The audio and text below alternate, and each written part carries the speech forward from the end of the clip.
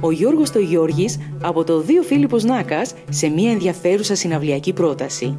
Το κανονάκι χθε και σήμερα. Με συνδετικό κρίκο το κανονάκι, ο Γιώργος το Γιώργης προσκαλεί μια παραδοσιακή ορχήστρα, τους ετερονίμηση, και ένα πολυμελές σχήμα σε μια βραδιά που θα αποτελέσει τη γέφυρα ανάμεσα στην παράδοση και τη σύγχρονη μουσική. Ό,τι κι αν γίνει ένα να λες πως μ' αγαπάς χίλιες φορές Πως μ' αγαπάς χίλιες φορές Από την κινηματογραφική ομάδα Κλάσικους για το δημοτικό κανάλι Attica TV. Εσένα